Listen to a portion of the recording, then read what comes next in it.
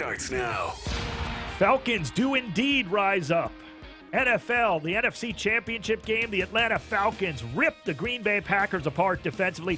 44 to 21 the final. Matt Ryan, Falcons quarterback, 27 for 38, 392 yards, four touchdowns passing. Ryan ran for another touchdown in the thumping. Wide receiver Julio Jones, nine receptions, 180 yards, and two touchdown catches for now the NFC champions. AFC game off to a little bit slower start. New England had a good first drive, had to settle for a Stephen Gostkowski field goal, and early in the first quarter they lead the Pittsburgh Steelers in the AFC championship game 3 0. NBA Warriors, a 42 point third quarter helps them pull away from the Magic in Orlando earlier on Sunday. A 118 98 victory. Steph Curry, Klay Thompson each has seven three pointers in the win. Their seventh straight. Orlando's lost eight of 10. The Mavericks crushed the Lakers. Got caught in the air, pass deflected by Anderson, picked up by Jackson. And Anderson's got himself a run out for a two hand rim rocker at the left of the rim. Boy, if you're the Lakers, you just want this game to end. Mavericks Radio Network with a call of a Justin Anderson dunk, two of his 19 points as he led seven Mavericks in double figures on their way to a 122 73 win over the Lakers, the largest defeat in Laker history. Elsewhere, going on right now, Toronto leading Phoenix late the first half, 58 53 in Toronto. And coming up, Denver is at Minnesota. Australian Open tennis. The two number one seeds are gone.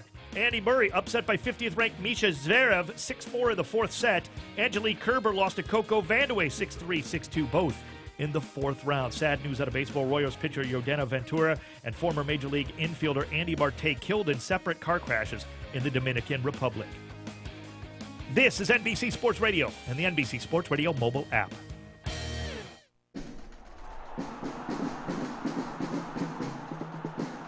Did you know that more than 100,000 people a day are downloading game apps?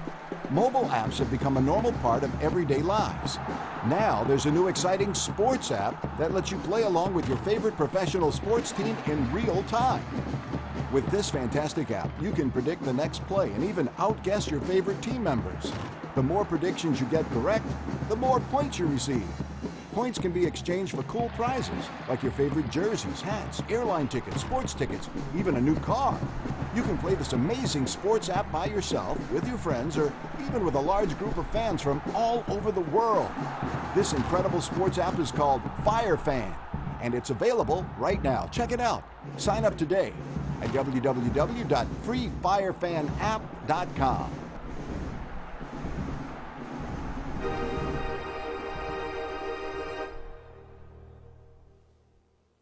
This is KCAA. If your home has hard water, then it's likely that lime scale is clogging your pipes, damaging your appliances, costing you hundreds of dollars each year. You can eliminate lime scale in the entire house with hydrocare products available at Wave Home Solutions. Easy and efficient with no maintenance, no salts, no chemicals, and no coils. And you can buy with confidence from Wave Home Solutions. Performance guaranteed. Just go to bestwater411.com. That's bestwater411.com. So, you love talk radio? Then you'll love TalkStreamLive.com. TalkStream Live is always on with the best streaming talk shows. Find your favorite talkers and discover some new ones. It's free, readily available online or on mobile with any smartphone or tablet. Finding your favorite talk shows all in one place has gotten a whole lot easier. Just go to TalkStreamLive.com. Be sure to download the free apps from Google Play or the iTunes App Store. This is Danny Alcaraz, CNBC KCAA Radio, 1050 AM, 106.5 and 102.3 FM. Tune in on the Alcaraz Angel Baby Sunday block, back to back.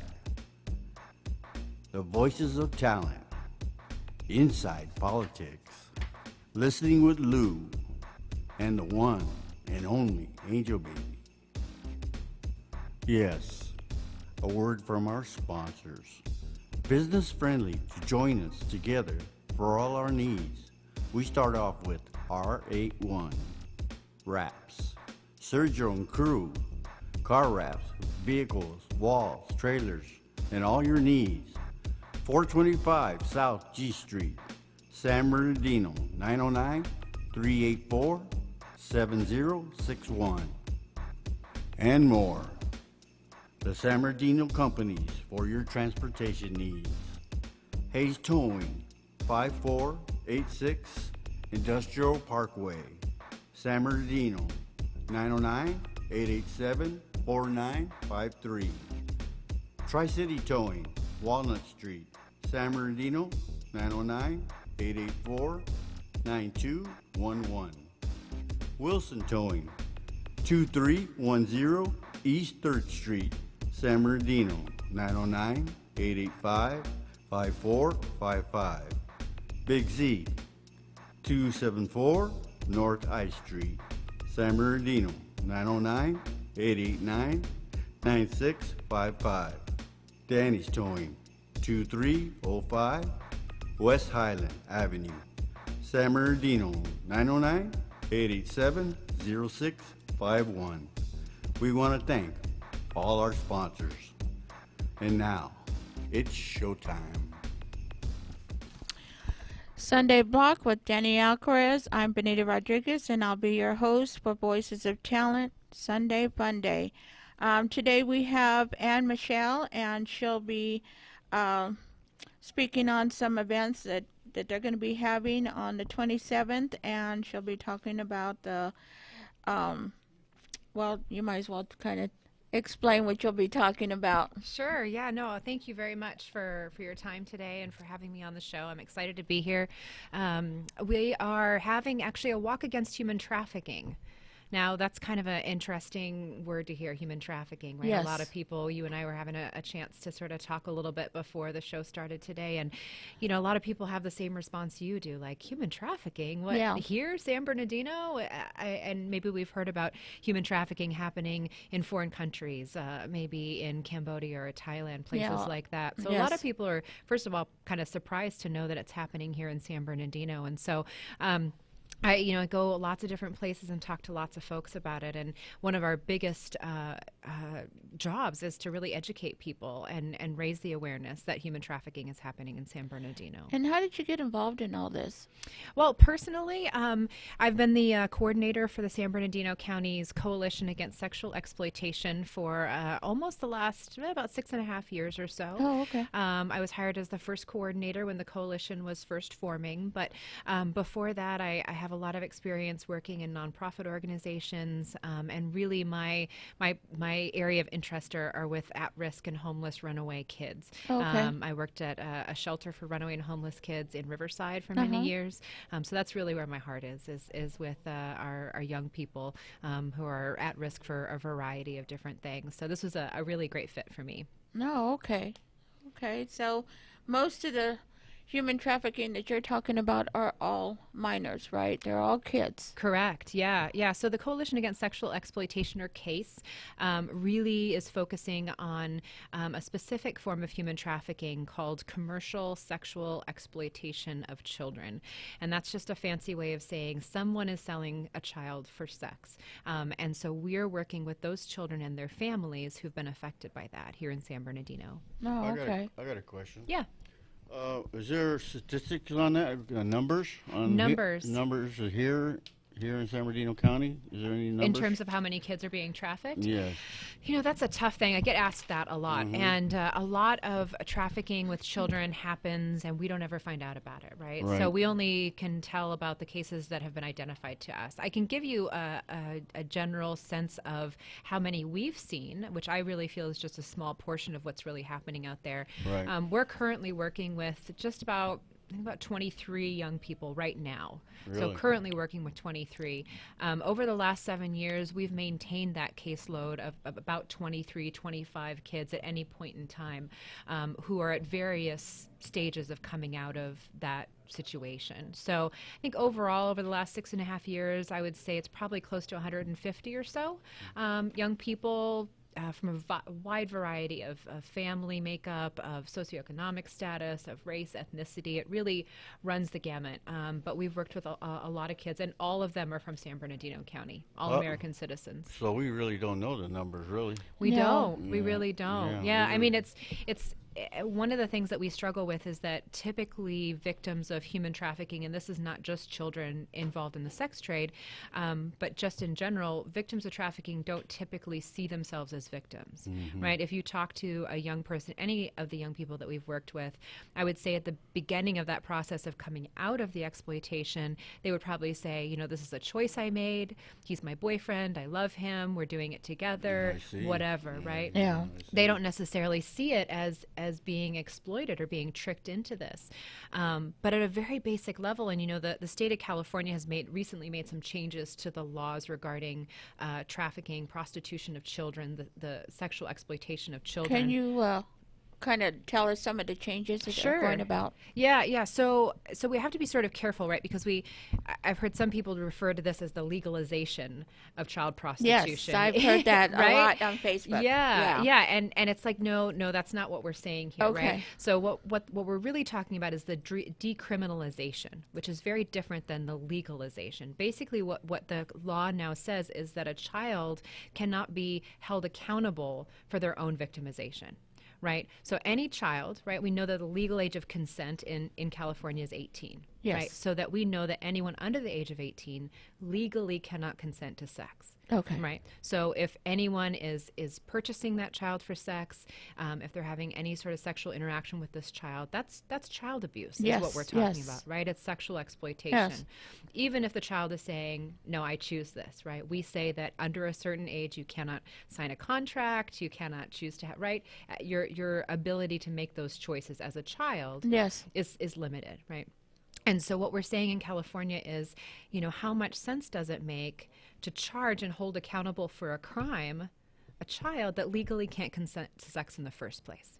True. Right? So that's what the, the law has recently changed as of January 1st. These children can no longer be arrested on charges of prostitution, which is, is really more in line with understanding that this child is indeed a victim of sexual exploitation, of abuse, um, and that this should ha- be handled more as a child abuse case and less uh, with the juvenile justice system. Oh, okay. Well, I'm Yeah. glad you kind of cleared that up Yeah. I, we're kind of looking at it on Right. Facebook, and they're saying it. You know, it they legalized it, and I'm like, how can they legalize this? Right. Yeah, it doesn't You know? make a lot of yes, sense. it Yeah. doesn't. I mean, it's you know, like you said, child abuse. It and, is child you know, abuse, So. right.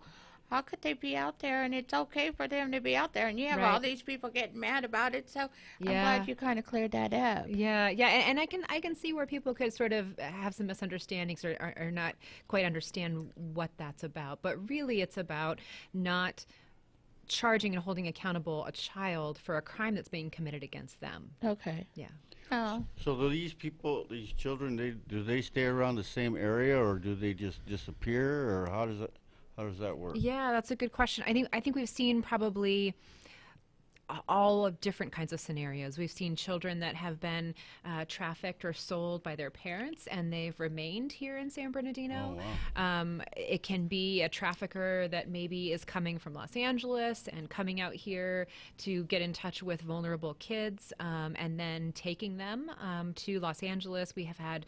Um, it's not unusual to see some of these victims being moved from one location to the next. Typically, we see, you know, spending some time in Los Angeles, maybe here in San Bernardino. Of course, we're right on the way to Las Vegas, and so moving out to Las Vegas for a period of time, and um, of course, you know, that helps to to not be a- alerting law enforcement. It helps to go a little bit undetected, um, makes it easier for the trafficker that way. Um, but it's not typically what we see because I know, you know, in, in Hollywood movies and stuff, we Right. typically see Mhm. somebody that's Right. been kidnapped and blindfolded, right, and chained. Um, and we certainly see that that has happened. Um, but in far more of the cases, what we typically see is something that I heard once referred to as the chain around the brain. And this is a psychological manipulation. It's a control, not unlike what we see in domestic violence, right? Where you have somebody who's being victimized by someone. Um, and they're physically free to go. They're not being chained up somewhere. They're not being necessarily held against their will. But psychologically, they're so attached to this person I that it see. becomes very difficult Yeah. for them to, to break away. I see. Wow. And they kind of think it's more of It's like okay, love and it's okay. Yeah, it's Absolutely. okay, And yeah. and you you bring up a really important word when we're talking about trafficking and that's love, right? And how powerful that can be, especially in the life of a child. Now, what we know about victims of trafficking is that 80 to 90% of them have been sexually abused as children, right? So long before this becomes a trafficking situation, these are typically children who've been sexually abused. Um, so we already know that they're coming from families typically um, that are sending them very different messages about what love is, Yes. about what boundaries are, Yes. about what healthy relationships are. Um, and so now they're in a, a place in their life where they are looking for that love, that that protection, right? And then this person maybe comes into their life and tells them, you know, you're beautiful. I, I want to make you a model, or um, I want to protect you. We're going to get married one day, and sells them this happily ever after beautiful story, right? Yes. Um, and again, at 12 or 13, which I was, I was, we were sharing this earlier. 12 or 13 is the average age that somebody is first trafficked in the United States, right? So we have to kind of think about where's our state of mind at 12 or 13 Yeah, right? h- do Yeah. we critically think about things very well at 12 or 13 No. not so much right? And i always joke that you know as parents we we tend to get a little frustrated right when our kids are 12 or 13 and they do something and we say something along the lines of like what were you thinking? Right? And as parents Yes. we're, we're frustrated when they say i don't know right? But at 12 or 13 we just don't have that ability yet to think like an adult right? So when somebody comes along and says you know, come away with me. Um, you know, I've got a house in Miami and I'm this big star and we're going to walk the red carpet. And um, this seems like, wow, this is my dream come true, my knight in yes, shining armor, yes. right? That's come to rescue me from the group home where I don't want to be or my parents' house or whatever's going on in that Mhm. child's life. So far more often we see that, you know, that chain around the brain, that psychological manipulation and control. Wow, this technology is. I don't know. Sometimes I wonder. Sometimes. Yeah, Yeah. I know. Yeah. Technology. You ever seen the wars where they have wars over there at the like Syria Mhm. and uh, Iraq, and then you'll see three, five hundred kids just disappear. I always wonder where they go. Yeah. What Yeah. happens? What happens to them? Yeah, I mean, I, I think it varies from situation to situation, of course, um, but it's not unusual to see at an international level Mhm. kids stolen that way, large groups of children, especially in war torn areas where there's that vulnerability, right? Right. Um, where they're not being protected. So, yeah, I mean, um, when Well- at a national level, yeah, Yeah. for sure. Basically, it's happening worldwide. Actually. Absolutely, absolutely, yeah, And, yeah, uh, definitely. It's hard to catch that because it, uh, it's hard to catch that. It is. It is. And I think that, um, at least here locally, which is sort of really what cases focuses Yes. on San Bernardino, um, it may not always look the way we, th- we think it's going to look, right? We, we might think have certain ideas about what people involved in prostitution look like or how they True. behave or who they are. Yes. Um, and that's not always the case. I mean, sometimes it's that, you know, 15 year old young person that goes to church with you that, um, you know, you would never in a million years Yeah. think that this child is being Because a lot of them don't say anything. Absolutely, Yeah. yeah. It's like child sexual abuse. I mean, it's it's a taboo subject. It's something that we don't speak about, um, and so you know, I, I feel like we do see it on a on a regular basis. We just may not know what we're seeing when, when we see it. No. So you interview these children, and that's how you find out is, is there human trafficking, or how, how does that work? sometimes, sometimes. So um, we're working primarily with kids who are already system involved. So these are kids that are either part of the child welfare system and or part of the juvenile justice or probation system. Mhm. So, um, you know, the easiest to, to identify as victims of trafficking, of course, are those kids that have previously come in on, on charges of prostitution. Um, but sometimes it comes to the attention of a, a caseworker. Maybe this is a child that was removed from their family for a variety of reasons and are now placed with a foster family, and they're, um, you know, running away every weekend, and they're talking about this older boyfriend that they have, or you know, when they do come back, they're coming back with, you know, an expensive necklace that they say their boyfriend bought them, or you know, those kinds of clues are things that we definitely want to um, look at when we Yeah. talk about trafficking, because again, it's it's not always going to look the way we think it's going to look. That's true. So how? I mean, let's say that I see somebody out there, and Uh-huh. I think it's something going on or something. Do you guys come out there and check it out, or how does that work? Or? Um, it sort of depends on the situation. So um, we do oftentimes we'll get calls from, let's say, a school nurse or uh, a teacher um, who's concerned about a student. Um, we've gotten called out to um, student attendance and review boards. So these are hearings that they have with various people from the school district when a child is uh, consistently absent. Right? They're really trying to bring in the family, figure out what's going on. Why is this child missing so much school? And oftentimes, um, if the people involved in that kind of meeting um, have been trained on trafficking, they might pull one of us in and go, you know, we're kind of seeing some of the signs, and we want you to be there to Yes. to really be able to lend your expertise on trafficking. So, um, in those cases, we will come out. Um, now, if there's a person that's actually out on the street, um, those can be quite dangerous situations, right? We don't That's true. know, you know, whether the trafficker is sitting in a car keeping an eye on Yes. things, what the dynamics are out there. So we really look to our law enforcement partners to handle some of more of those more dangerous situations. But um, so again, it sort of depends on the situation, but we absolutely will get involved um, and we'll provide, um, you know, resources for that family. Um, we can work alongside the, the families and go into the home. We provide um, referrals to wraparound services. So these are agencies that actually go in and provide therapy and, um, you know, bus passes if transportation is an issue or whatever's needed by that family to support them. Is there a hotline for the call in? Sure. Yeah. Absolutely. So what what I typically uh, ask people do to do is is is called the National Human Trafficking Hotline. Um, I say that for a variety of reasons. Um, one is that I think it's really important. This is something that you brought up earlier. Is we really don't know in terms of numbers, right? Numbers, And so. I think if we're all calling one number instead of local Yes. numbers, um, we can really start keeping track of those statistics a little bit better. So it's the National Human Trafficking Hotline, and the number is eight eight eight. 3737888. And I know I say that a little strangely, but it's easier to remember Yeah. that way, right? So it's 888 3737 888. Um, and that is staffed 24 hours a day, seven days a week by folks that um, can receive those calls and not only provide that linkage to local law enforcement, um, but also the resources that are available in that community that serve human trafficking victims. Okay. Do you see more?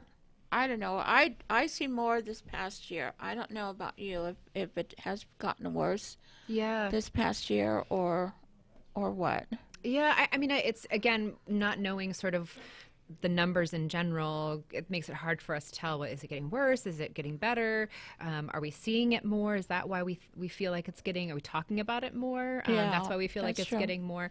Um, so it's kind of hard to tell. I mean, it, it's we definitely have not um, seen a decrease in the number of kids we're working with over these past seven years. I mean, we're still seeing, you know, a lot of um, incidences of trafficking, and you know, we only work with a very small portion of the young people who are being affected by this. So um, whether it's getting better or getting worse, hard to say. Um, but it's definitely something that that continues to need our, our attention. Yeah. Maybe we should um, start looking into the juvenile, see if it getting more children, less children.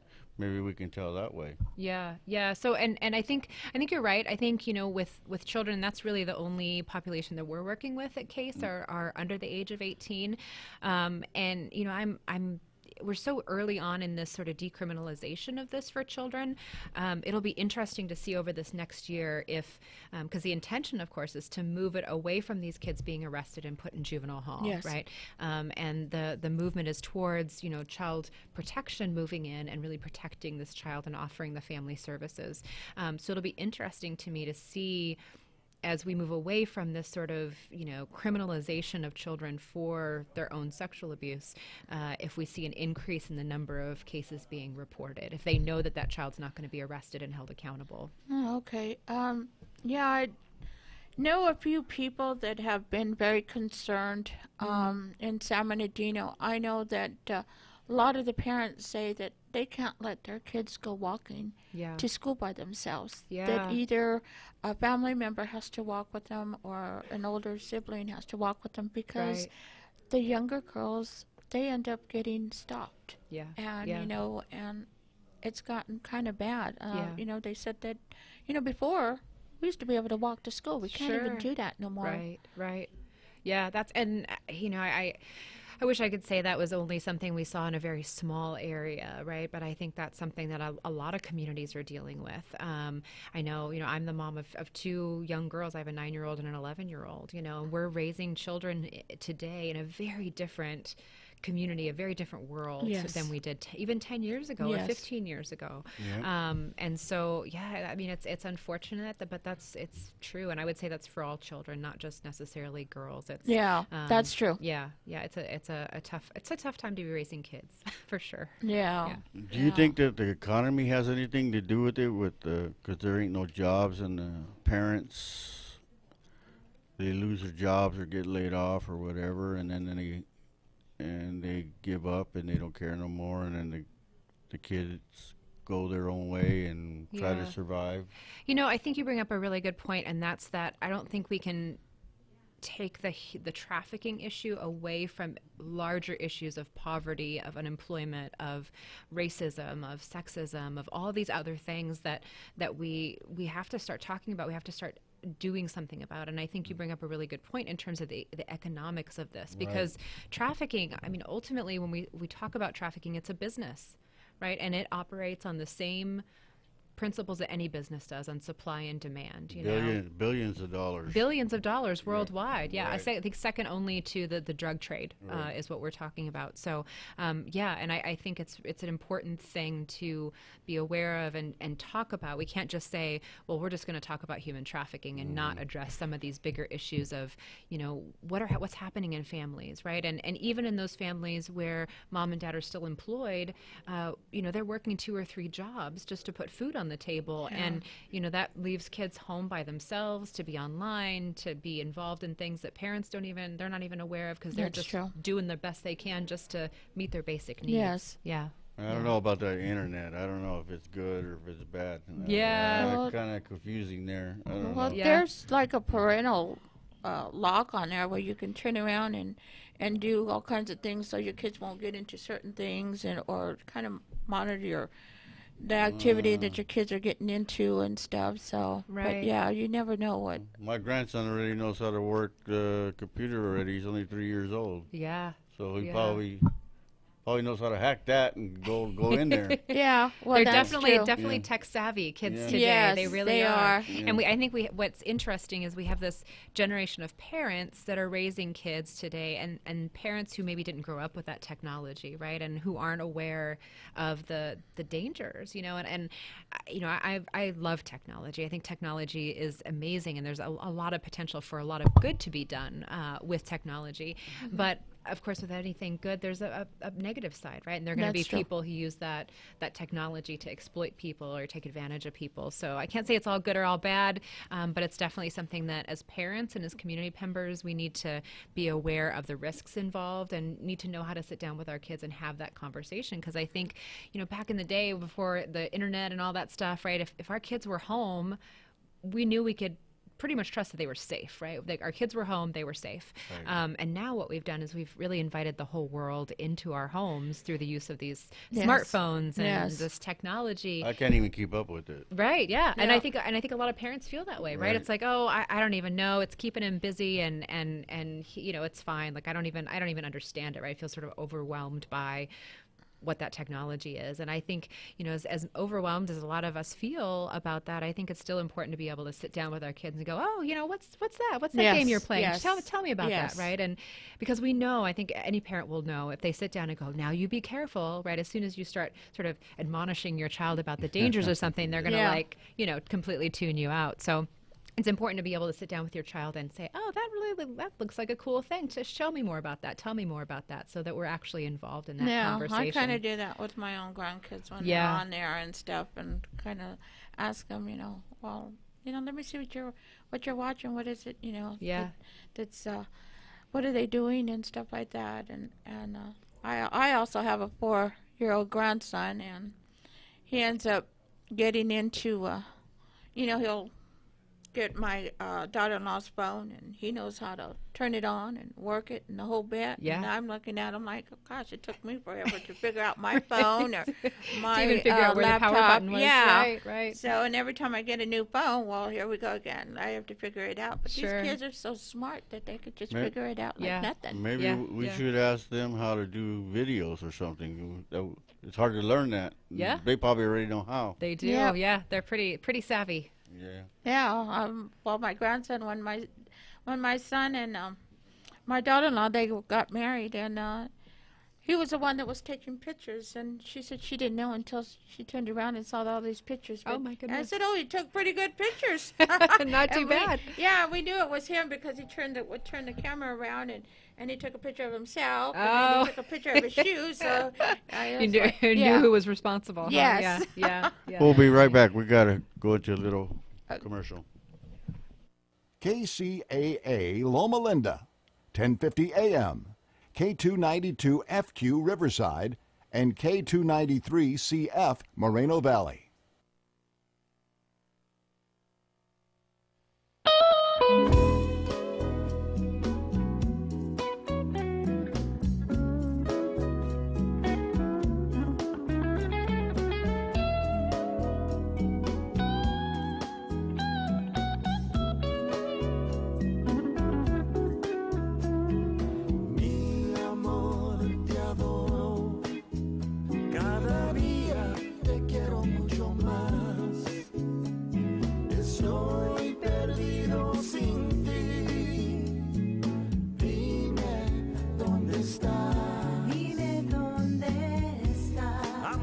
I'm high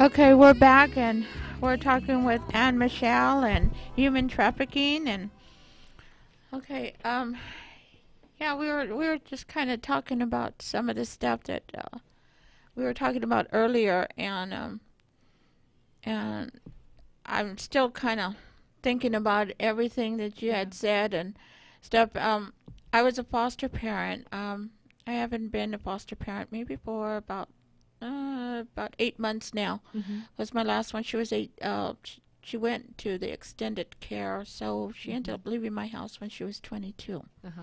and she ended up getting a pretty good job. She was a nurse and everything, and and well, all the other three girls that I had in my home as well, they all Yeah. went to college and they ended up getting a, a degree and they have kids of their own, but their past. I mean, I had to listen to some of the stuff that they went through, and it just broke my heart. Yeah. I, I couldn't believe that um, they went through that. But there's a way of coming back from all of that because I've Sure. seen these girls. I've seen all three girls, and they have families now, Yeah. and you know they're doing really good. Yeah, yeah, and and luckily they had someone like you in their life to to provide that uh, safe, supportive, loving kind of environment. And I wish I could say that the same for you know the other young people that we work with but so many of them um, you know come from families where that's just not the case you That's know true. where even when they come out of the trafficking situation you know they've decided like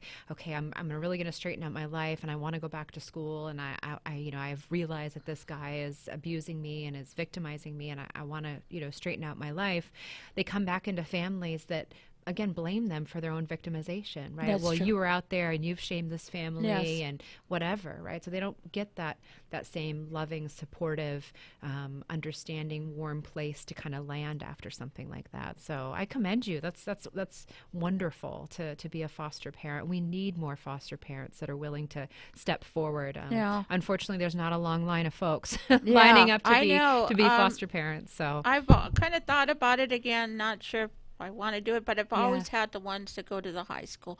You Mhm. know, from from uh, 15 to 16 years old, and then Yeah. they graduated from high school, and then you know continued on with their education Right. and, and stuff, and now have families. But Yeah. um, yeah, I I've kind of thought about going back and and doing it again. Yeah, but we need foster parents. We really do. And we need foster parents who are willing to be that safety net for kids and be there um, to hear those stories, you know, and to provide that support and that encouragement. I mean, and even maybe it's not as a foster parent, maybe it's just as a mentor. I mean, that Yes. can make such a huge difference in a child's life, just knowing that they have that one person that's always going to be there for them, right? That's I mean, true. so many of these uh, foster kids, particularly, but victims of trafficking as well, you know, I've had a long series of social worker after social worker after social worker after, you know, probation Yes, officer. yes. Nobody's been permanent in their life. There's not been one person over a long period of time that they could really look to and, and trust and believe in, you know? And so, you know, this trafficker comes along and promises that they're going to be that person, they're going to be that family that they've always dreamed about having.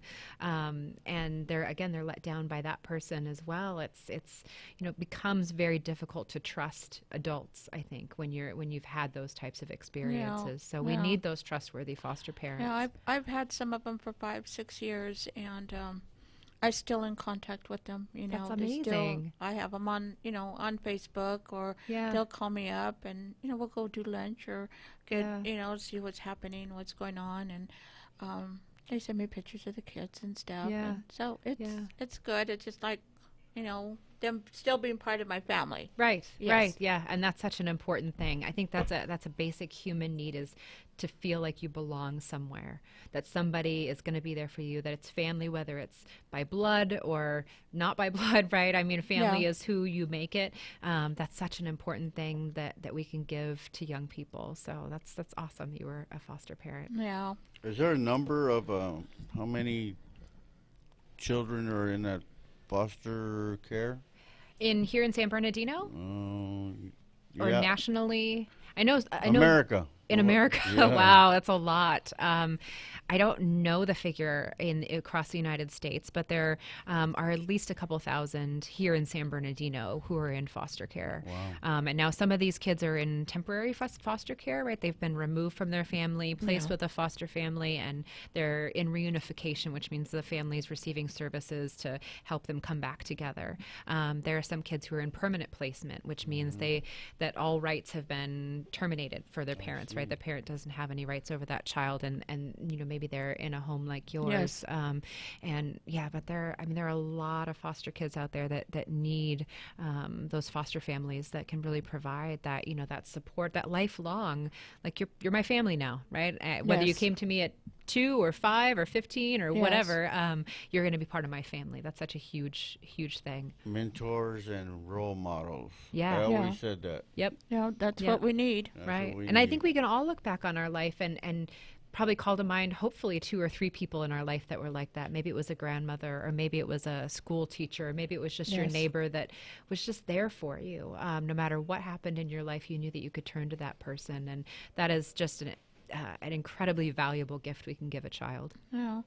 Okay, you guys have an event coming up, and I kind of want to talk do. about that. Yeah. So, um, can you tell us Sure. about the event? And because it's coming up really quick. It is, yeah, less than a week away. So it's uh, the uh, annual Walk Against Human Trafficking. It's our seventh walk, and it's going to be on uh, Saturday, January 28th. Um, and it is going to be happening at the Children's Network here in San Bernardino, which is just right up on hospitality. Okay. Um, and so the community is invited to come out and raise awareness about human trafficking. It's a free event, um, completely family friendly, uh, great place to kind of get started, um, whether you're just learning about human trafficking or maybe you know a few things about human trafficking, but you, you want to know more.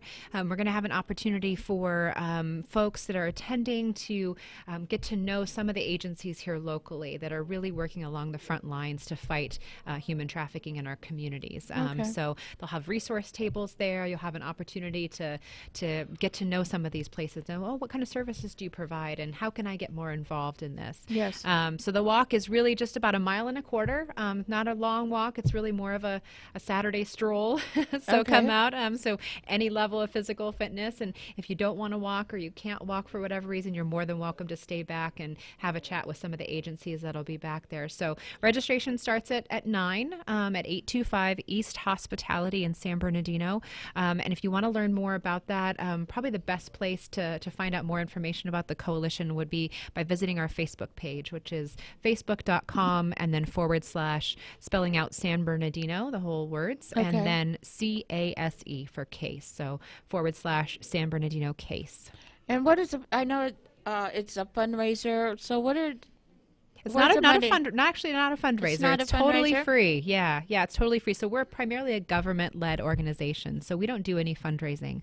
Um, all of our events, uh, the team that works directly with the victims of trafficking, that's all funded by your tax dollars. Okay. In fact, the Mental Health Services Act in California, which is that millionaires tax that we all voted for several years back. Um, that's what funds funds case and funds a lot of other mental health services in, in San Bernardino County and throughout the state of California. So yeah, so it's completely free. It's your tax dollars hard at work, um, and it, it funds the direct services to victims of trafficking, but also these events where we really go out into the community and raise awareness and, and encourage people to get more involved with those nonprofit organizations in our communities. I just got Okay. some information. It's- Yeah. Let me see. California, one in, in the top five human trafficking states, California doubles than than Texas. Being close to the border like Texas makes it easier to smuggle people in and out of the country. The presence of transitional gangs or these areas make the crime more organized, like Los Angeles being one mm-hmm. of the top on the list. Right. Yeah. So that's uh, it's excellent. Uh, absolutely true. Um, California tends to be one of the top states when we look at human trafficking.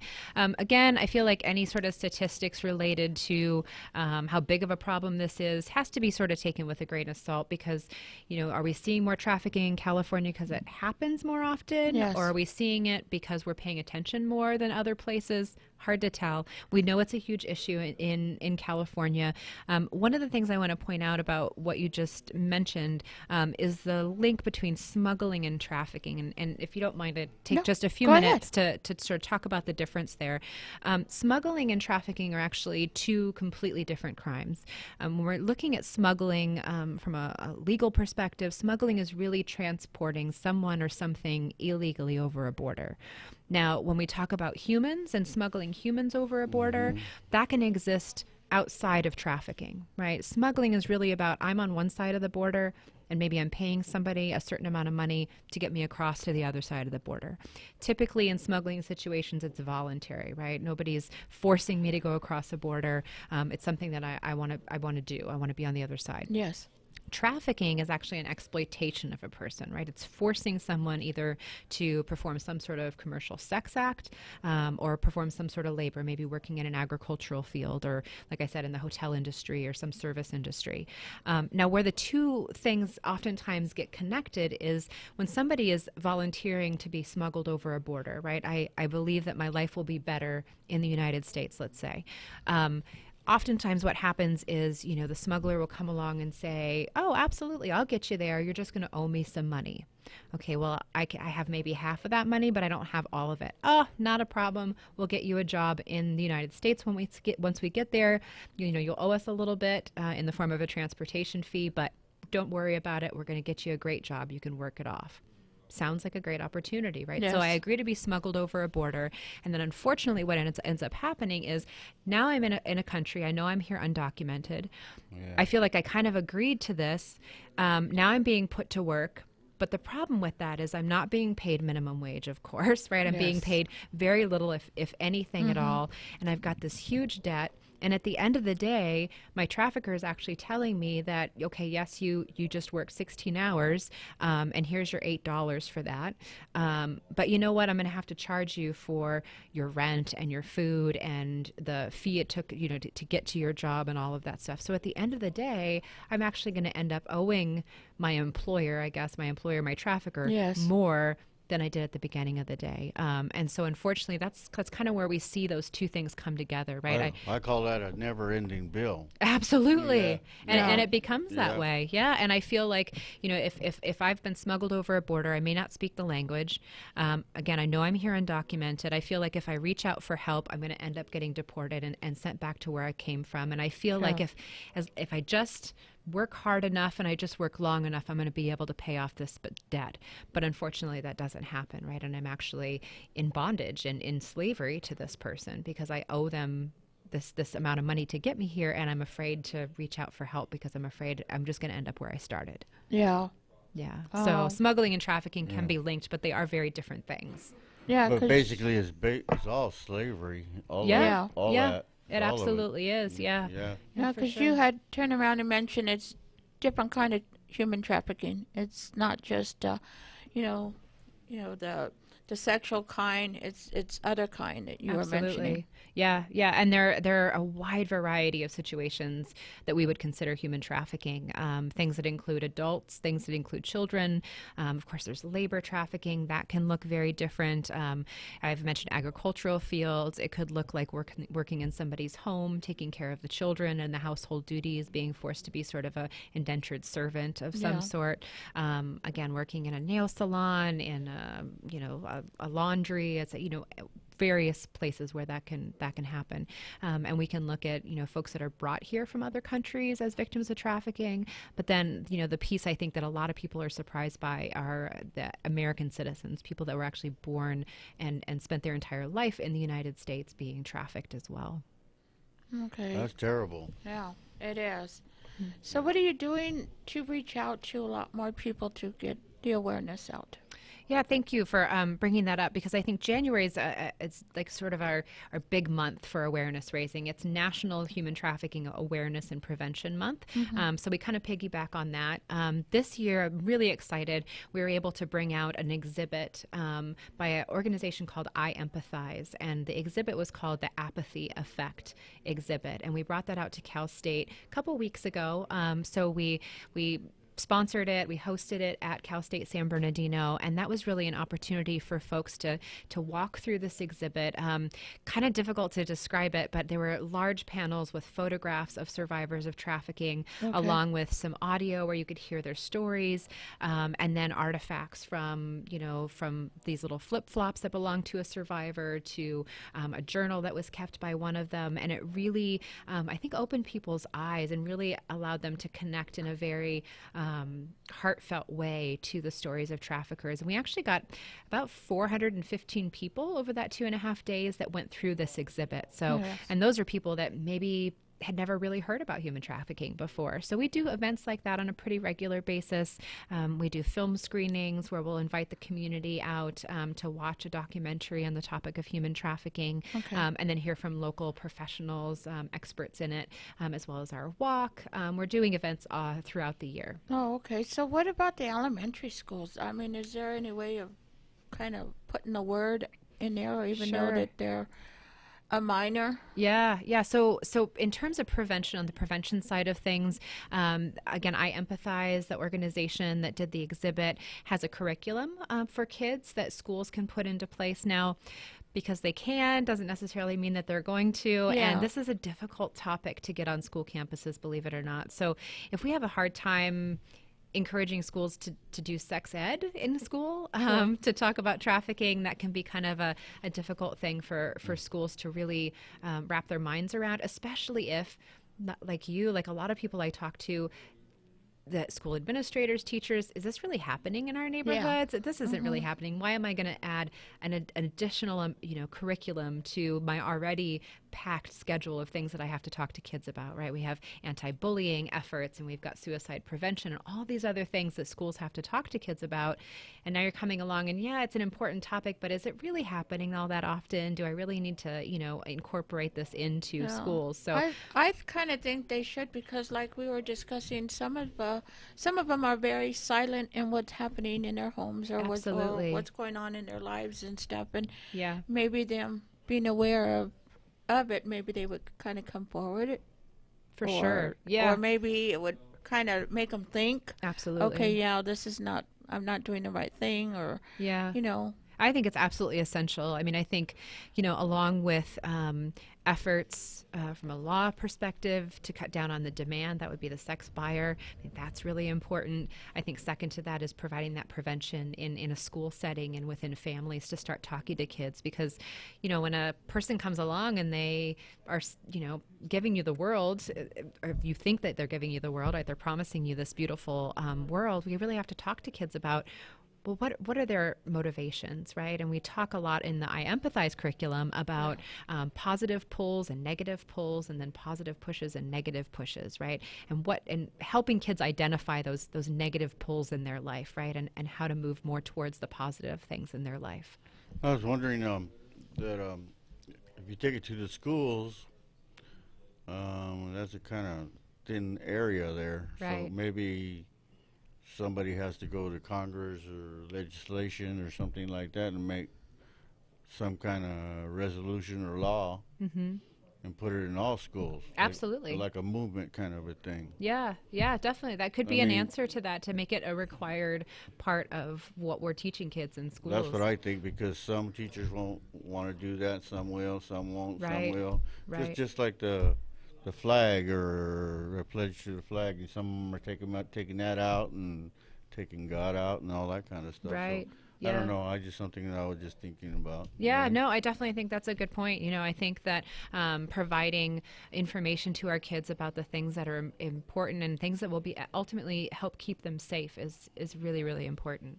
or even having um i guess you can say like a a meeting or some kind of town hall meeting or something you know where a lot of the parents from the school can come and listen to what's happening. Maybe they can kind of uh sometimes us parents don't know exactly what our child are doing out there. Sure, You know, yeah. once they leave your home, you don't know what's happening out there, so maybe they can get a little bit of an idea. Okay, well, maybe I had to start keeping an eye on my, you know, on my kids. Right. You know? Yeah. And and thank you for bringing that up too, because um, that's definitely something Case can get involved in. We can't necessarily go into school districts and say, "Here's a curriculum, and you will start teaching it." Um, but we will go out, and I have gone out on on a regular basis um, to uh, schools and speak to school nurses. You know, maybe there is that school nurse that wants some of that call. training. Yeah, we Oh, have got a call right now. Hello. Hello. Hi, Benita. This is uh, Paul Rosso. How are you and Danny doing today? Oh, we're doing great. How are you? Doing great. Great, great. I'm listening to your guys' radio program on the human trafficking and sexual exploitation, and uh, you know I've always been an advocate against uh, that type of uh, activity. You know, and uh, you know I want to say that uh, I'm going to be there at that uh, event on Saturday. Yay! Um, Thank you. there walking against uh, uh, human trafficking. Oh, that's good. I also just wanted to call in real quick and uh, let you know that as a uh, employee of the Colton Joint Unified School District, um, we're, we have mandated uh, reporting now. The legislature passed mandated reporting about four years ago. So us as as a staff or a teacher, any employee that's aware of possibly any type of abuse or or sexual exploitation or human trafficking, we're mandated by law that we have to report it. We do have extensive, like I said, we have extensive training that we have to go through every year. If we don't complete it, then we also can, uh, you know, be uh, removed, you know, uh, put on uh, unpaid leave for not uh, finishing up the requirement. Oh, and it's required every year. And are they including the human trafficking stuff within that? Yes. Oh, that's yeah, awesome. We have, it's it's very extensive. The mandated reporting training. That's great to the hear. issue that I had, the issue that I had is that the mandated reporting training um, is not required uh, for community colleges and Mm. universities. So the staff in those uh, in those uh, uh, schools are not required to have it, but anybody that works through K through 12 education are required to have mandated reporting training every, on a yearly basis. And um, you know, it, it, it's pretty intensive because I've taken the test uh, three years in a row, and each year it, it seems like you know it's not the same test. It's always Yeah, you it know, probably kind of- has So they're more updating to it. it. Yeah. Yeah, that's great. That's great to hear, and it's great But to hear that they're. wanted kind of, yeah. I just I'm sorry I didn't want to interrupt your show, but I just wanted to No, let that's you know okay. that that does that is you know it is a mandated you know training that we have, and it was uh, approved by the legislature. That's great. Like I said, I want to say either three or four years ago. That, and that's great that they're including human trafficking because I, I sometimes that's not included as a form of child sexual abuse or child abuse. So that's that's great that to hear that they're talking about that. Hey, Paul, this is Danny. I got a question for you. Hey, Dan. Um, how do they know when it's human trafficking? Is- Um, there's certain um, signs that uh, we're trained to uh, become aware of. You know, uh, bruising, uh, the children acting a certain way.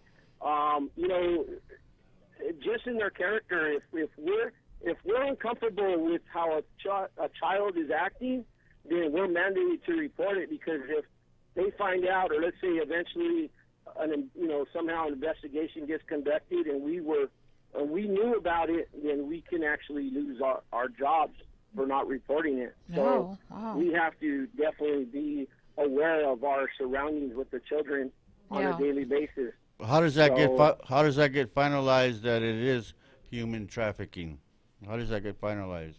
Well, normally just you know, you know, there's a lot of different agencies. Um, you know, it, it it goes to um, I believe it's like the federal human trafficking organizations uh, that conducts an investigation. It goes all the way back to the local level, from the police to you know federal investigators, and eventually you know once they complete those investigations, um, depending on the outcome, it's either human trafficking or it could be just child abuse. But all that ties in, in into some point, especially when they're under 18. Right. Right. That's great. Great information. All right, so I don't want to take up your show. I just wanted Okay. to kind of, you know, um, chime in on, on the topic um, because you know it's something that uh, you know that uh, I've I've had um, um, friends actually, um, young ladies that I've talked to and, uh, and aware of that have had issues with with that type of thing. So, you Okay. know, I just wanted to chime in. Uh, no- great, great no pro- no pro- and, um, I will be out there Saturday. No- Okay. We'll no- see you then. No problem. All right. No problem, Bye-bye. man. Bye. Okay, thank you. Bye. Okay, we have a couple of minutes, or maybe less than two minutes. Can you go ahead and uh, talk uh, talk about the event one more time? The, Sure. the, the date, the time, and where it's going to be at. Sure. And Yeah, so the seventh uh, annual Walk Against Human Trafficking is sponsored by the Coalition Against Sexual Exploitation, and it will be held on Saturday, January 28th. Registration will start at 9 o'clock in the morning, so come check in, um, have a, a chat with some of the organizations that are really working along the front lines on this issue. It is a free event, uh, it's open to the public, it's family friendly, um, so bring your family, bring your dog on a leash, of course, uh, Mhm. bring your strollers and your kids. Um, come out and support this cause, raise some awareness about human trafficking. It's going to be held at the Children's Network in San Bernardino, which is located at 825 East Hospitality in the city of San Bernardino. Um, and to find out more information about that event um, and everything that we do in San Bernardino, um, check out our Facebook page, which is facebook.com forward slash San Bernardino case. Okay, and I also will be posting it up. I have already posted it up on my Facebook group, so you can you. contact me too as well. Thank Thank, you. you. for coming. Great Thank show. you guys both very much.